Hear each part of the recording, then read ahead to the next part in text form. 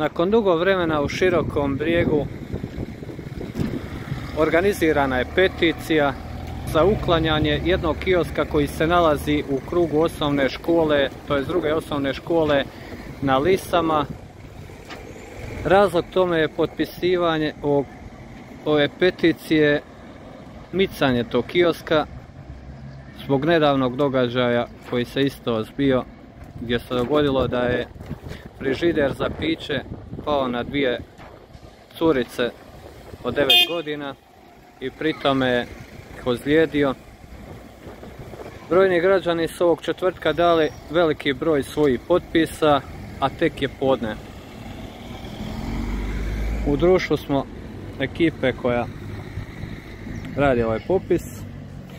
Recite nam, su zadovoljni sa dolaskom građana davajući peticiju znači, za ovog kioska iz kruga školskog dvorišta? Da, jesmo naravno. Veliki broj, veliki odaziv je bio. Zadovoljni smo, evo, što ste rekli vi, tek je povodne, evo, bit ćemo ovdje do 4-5 sati, tako da ja mislim da će biti to to. Evo gledajte, ljudi dolaze znači s autima i već pitaju... Osobne iskaznice to, potpisi, nema BG. Parkir rad minut je to, pa Evo, evo, mogli ste sami vidjeti koliko ljudima u stvari stalo da daju svoj potpis i da napokon riješe jedan od gorućih problema u ovoj školi. E, recite mi koliko je potpisa do sada prikupljeno? Imamo ih oko 380. 380? Pa ja mislim HDZ ne može i toliko prikupiti. Pa tako... za iduće izbore kandidirat ću se za gradonačelnika širokog bijega.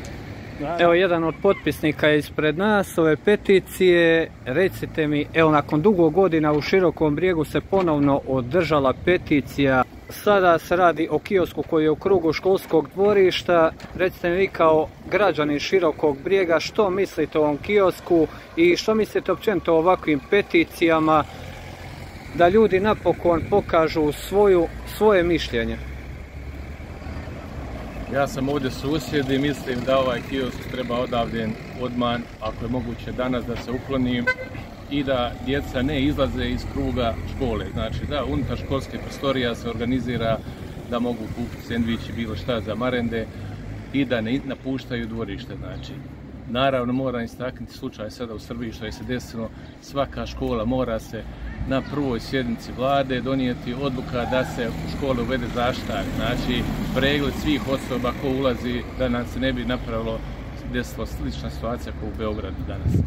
Znači mi pustimo svoju djecu u školu, želimo da budu sigurna i škola i znači i općina i gradonačelnik i sve institucije moraju u našoj županiji donijeti hitnu staviti u hitnu proceduru da se organizira znači zašta naše djece. A djeca ne smiju izlaziti nigdje, ne bi trebala Ali, nažalost, e, treba se dogoditi neki problem da bi ljudi počeli shvaćati ozbiljnost situacije. Ova peticija ne bude samo jedna, jedan dokaz da nas ima mnogo ljudi, puno ljudi koji žele i misle drugačije i želimo znači, s ovim pokazati da, da nismo svi znači e, mišljenja da taj kiosk bude tu. Znači želimo da se to ukloni, a da škola organizira unutar školskih prostorija određene firme, privatne ili bilo šta da dostavljaju sendviče ili bilo šta drugo za djeci koji žele da Znači da... Definitivno slažemo se u potpunosti s time, to je čak jedna bila od davnih priča, ali sad ugovlači s time. Rekli ste mi na početku da ste susjed, evo sad nedavno dobili ste i kružni tok ovdje kraj škole.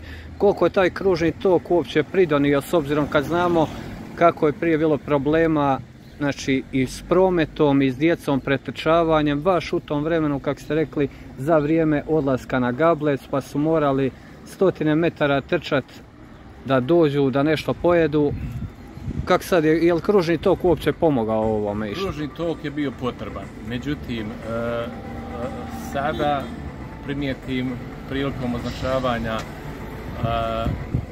prelaze, zebre, znači ovo je, ovo je sada infrastruktura što je rađena, znači rješavanje ceste i to, ne vidimo pored Nameksa dole je bila jedna zebra, sad ne vidimo samo jednu zebru tu i djeca trče trče u trgovine. A većina trotoara su vozila. Jedan dan, jedan dan da nečije dijete ovdje strada, onda će se uklon kiosk, onda će se početi pričati kako treba unutar prostorija potpisati s nekim ugovor da djeca naša mogu u miru jesti i marendu imati unutar prostorija, ali bi naglasio, s obzirom šta je sad ovo stanje, tragični slučaj u Beogradu, trebamo hitno reagirati, uvesti zaštare i da nitko ne može ući sa detektorima za metal, da ne može ući u prostorije, da se ne desi slična situacija negdje u našoj županiji ili bilo gdje u, u, u regionu.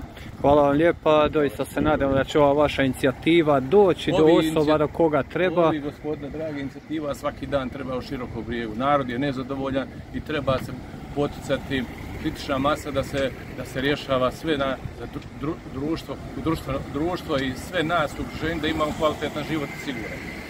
Hvala vam Hvala